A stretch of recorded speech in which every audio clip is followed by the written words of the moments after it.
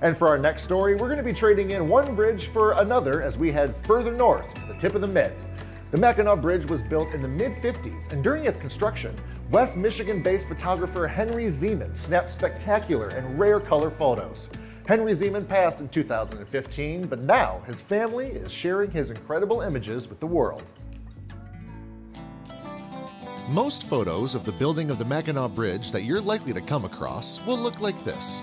An impressive sight for sure, but even more impressive is a sight like this.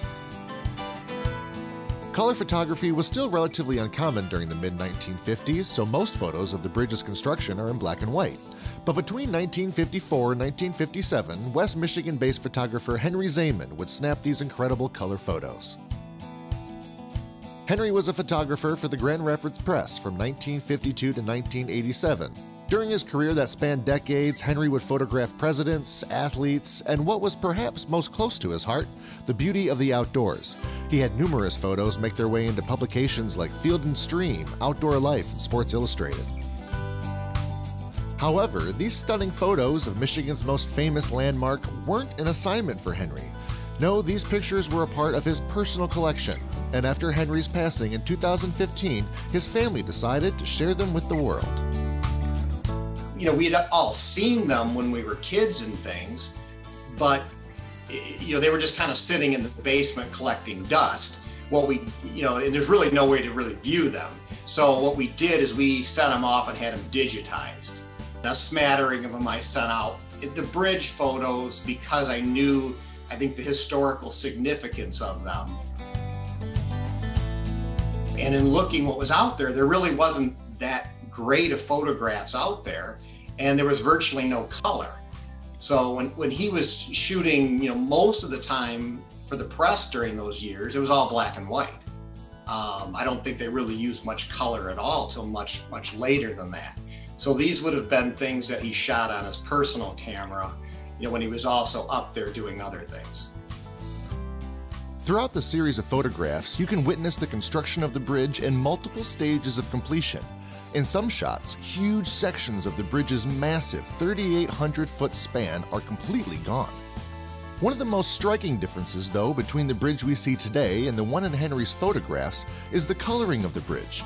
The barren steel superstructure without its trademark paint job makes the Mighty Mac almost unrecognizable.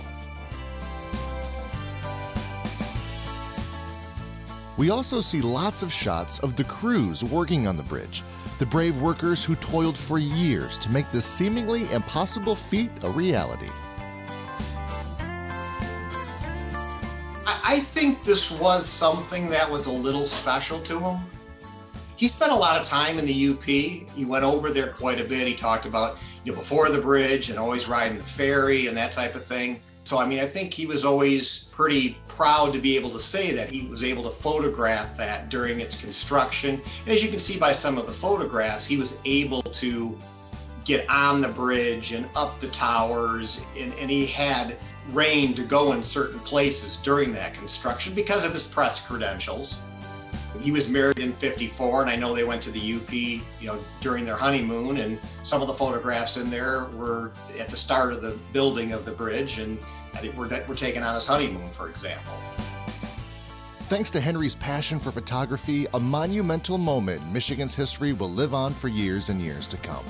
But with a career that spanned nearly 40 years, these photos are just the tip of the iceberg of Henry's photographic collection.